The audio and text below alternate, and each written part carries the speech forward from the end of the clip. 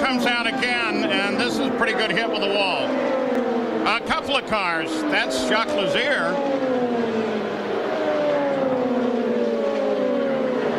And the report is that that's Hearn. Very difficult to tell from behind. Yeah.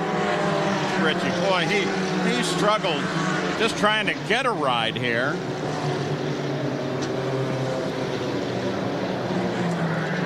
And Lazier, the safety crew, is right there with him, looking underneath to make sure there's no fire. So two cars getting into the wall off of turn two.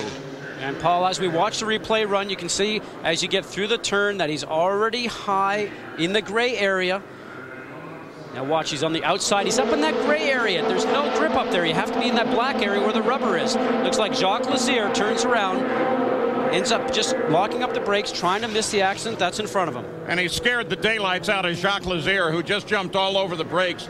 And as a result, he spun. Let's go down. Jerry Punch is now with Shigeaki Hattori. And Paul, the third driver to come back here in the garage uh, area. Shiggy, uh, what put you out? Well, uh, beginning of five laps car was good. Then I don't know why after 10 laps and uh, like a feel uh, same as uh, out of gas and we changed uh, filter everything but uh, we couldn't fix. Uh, could be uh, we had uh, fuel pump problem. So fuel pressure, can you get back out? All can they fix it?